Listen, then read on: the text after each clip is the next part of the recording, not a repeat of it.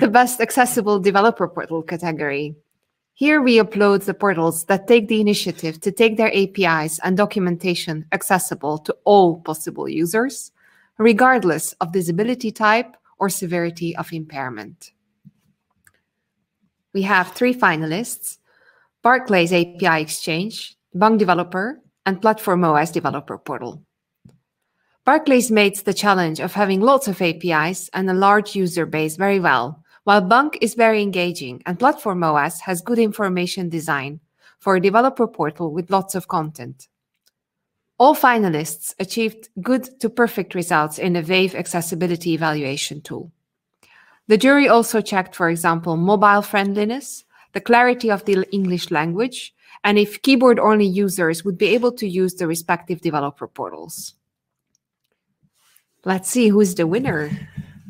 I'm really excited about this one, and I'm so excited to see how much progress we've made as a community.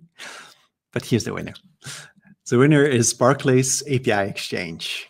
Um, congratulations. And we've got Liam Gallagher, who is going to join us on stage, or at least we hope.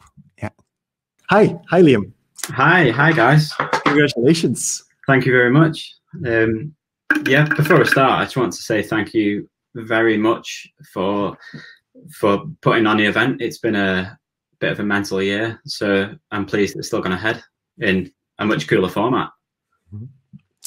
Um, yeah, it's a it's quite a year. it's there's there's good and bad. Um, uh, with all the tra the tragedy, there's um, there's been a lot of very interesting new ways of looking at what's going on. Um, but anyway, we're not we're not here for that. Um, yeah, no, okay. We're, yeah. here for insights. so, um, yeah. so as a winner for the second time, can you tell us a little bit more um, about how you're approaching this? Because as a jury said, it's um, uh, I, I think it was Alice who said that um, you can see that you started with accessibility in mind right from the start. Um, so it would be interesting to hear like what what solutions have you used for this? How how are you testing? Um, and what what are what are your like your future plans? Uh, what are what's still coming up next? Sure. So I think Barclays as an organisation have always had diversity at the heart of its core. Um, we don't want to have anybody on the outside. We want to include everybody essentially, and that has lent itself to every channel within the bank, and more recently the API channel. So Barclays has a kind of a task team, so to speak, and it is a an accessibility community. And within each community, we have um, what's known as a, an accessibility champion.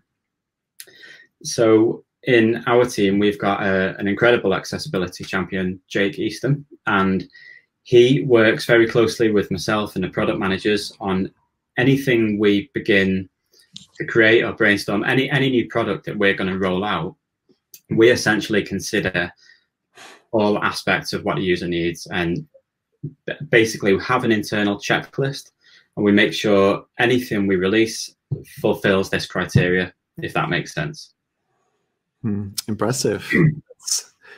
um, and I think how do, do you have any any kind of technology solutions to to ease in that process? Or is it it really is a human factor that yeah it's we we do a lot of kind of qualitative testing with small communities and internal teams. Yeah. And then we also use you've got your your plugins such as axe and we we basically uh, yeah a lot of it is just internal testing really um, we make sure everything adheres to the content and accessibility guidelines. Um, but yeah, a lot of it tends to be real-time testing with, I say small focus groups, but with focus groups. Um, and yeah, it's it's all validated before anything goes live, essentially. Hmm. Very cool. Uh, anything more you want to share, or?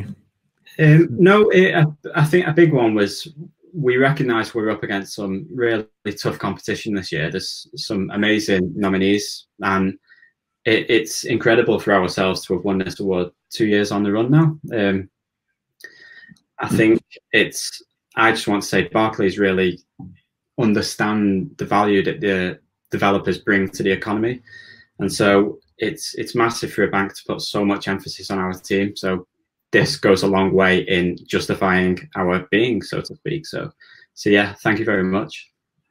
Thank you very much, Liam. Congratulations. Congratulations. Thank you.